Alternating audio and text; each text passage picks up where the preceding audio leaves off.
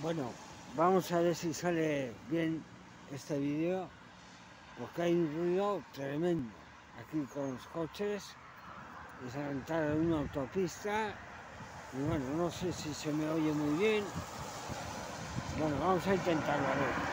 Eh, la especie es, eh, han salido numerosos ejemplares de, de foliota. Numerosos ejemplares de foliota tenemos aquí. La foliota es foliota lucífera. Aquí tenemos, bueno, bastantes ejemplares. Foliota lucífera. Aquí también hay. Aquí se ven más. Vamos por aquí.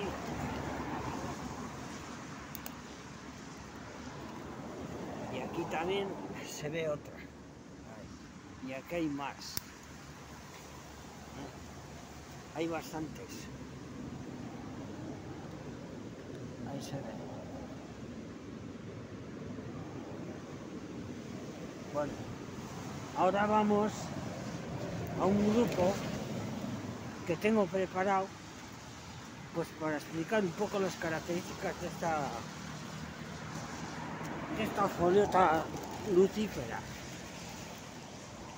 Bueno, aquí la tenemos. Eh, vamos a ver el pie. El pie es, es escamoso y tiene una parte, digamos, vamos a ver, ahí se ve, eh, ahí se ve la línea donde se ha unido al borde del sombrero por medio de un, anillo más o menos persistente, ¿no?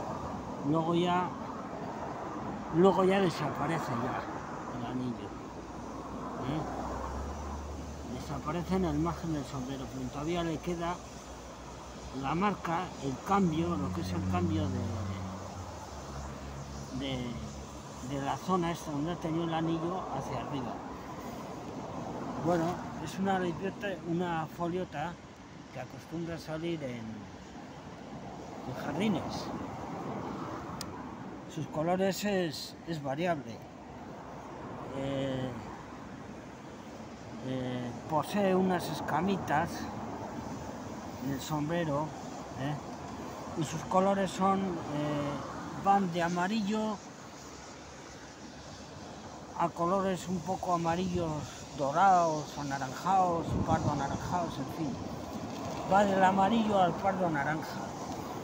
Eh, sus láminas pues comienzan siendo, digamos, crema con un reflejo verdoso, para luego terminar de color ya marronácea, roña, debido a las esporas.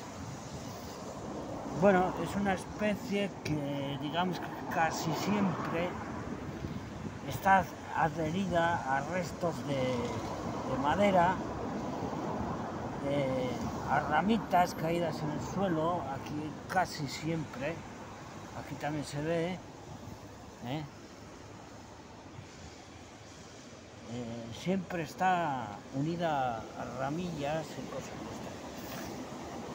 Eh, foliotas parecidas, eh, pues tendríamos, por ejemplo, la más parecida es la foliota tuberculosa, que microscópicamente es diferente a nivel de los de los quelocistidios, es decir, los cistidios en, en la arista del alambre.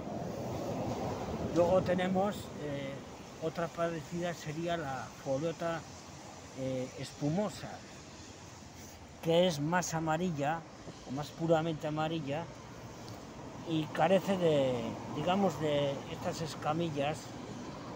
Ahí. No tiene esas escamillas. Bueno, eh, estos ejemplares, pues, a ver, están debajo de un árbol, de unos árboles, y,